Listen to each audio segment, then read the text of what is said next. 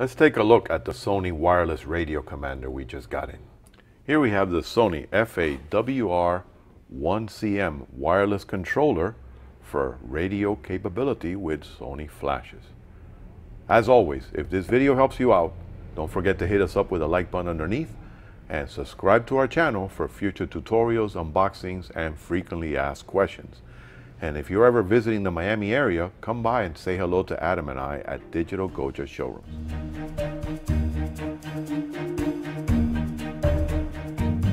Well, let's take a look and see if there is a Sony wireless radio commander.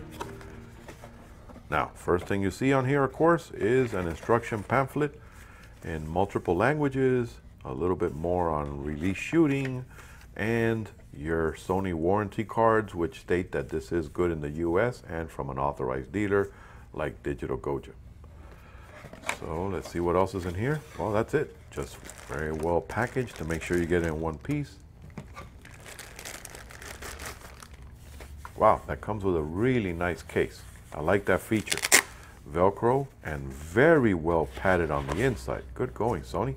That's going to make your wireless commander be nice and safe and snug in whatever environment you want to work with it. So let's take a closer look at the features of the Sony Wireless Radio Commander WRC1M.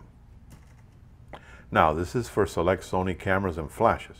Now remember, if you need to work with this because it's a radio frequency trigger, so you need to have a receiver on your flash from Sony, or you have to look into something like the HVL F45RM, which has the transmitter built in and receiver. This is 2.4 gigahertz. That means it has up to 98 foot range and it works with up to 15 radio receivers. So that means you can have up to 15 flashes synchronized with this.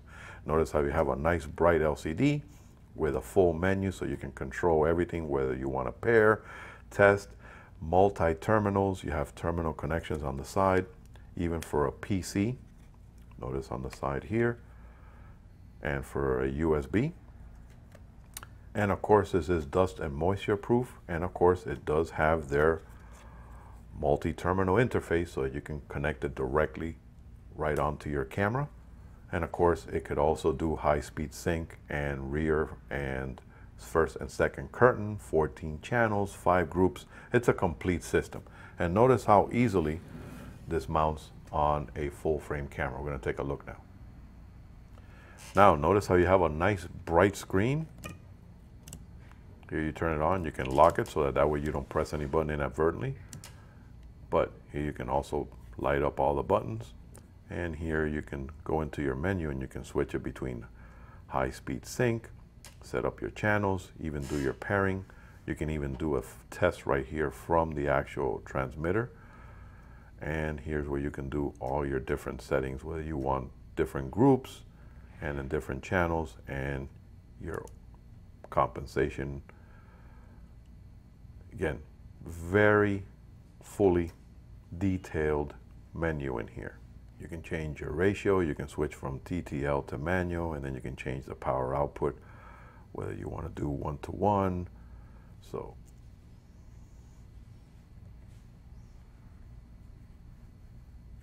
Here's where you do your level stepping. So you can do up to five exposure values.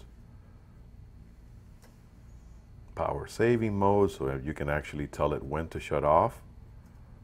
Up to 30 minutes if you never want it to shut off. Here's where you check your version as far as your uh, firmware. You have a reset so that if you have a bunch of settings and you don't know what you've done, you can just do a manual reset and it brings it back to manufacturer's default. So there you have it, a very complete system for a radio trigger from Sony, the FA-WRC1M transmitter. Well, I hope you found this video to be helpful. If it did, Remember to hit me up with a like button underneath and subscribe to our channel for future tutorials, frequently asked questions, and unboxings. And don't forget, if you're ever in Miami, come say hello at Digital Goja Showrooms. Happy shooting.